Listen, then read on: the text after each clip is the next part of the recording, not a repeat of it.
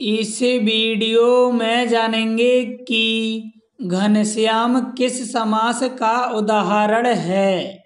इसका सही जवाब है बहुव्रीहि। घनश्याम शब्द में बहुव्रीहि समास है। इसी प्रकार नरोत्तम में कौन सा समास है? सही जवाब जानने के लिए वीडियो के डिस्क्रिप्शन में दी हुई लिंक पर क्लिक करें।